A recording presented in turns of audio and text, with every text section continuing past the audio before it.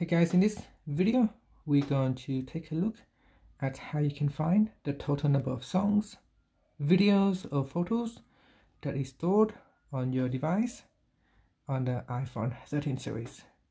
Now first let's go back to your home screen by swiping up at the bottom of the screen and on the home screen you want to tap on settings.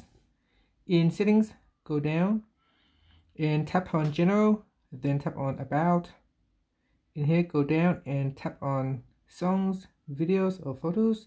Now actually you cannot tap on the songs or videos so it doesn't allow you to delve into details to find out what videos is stored on your device.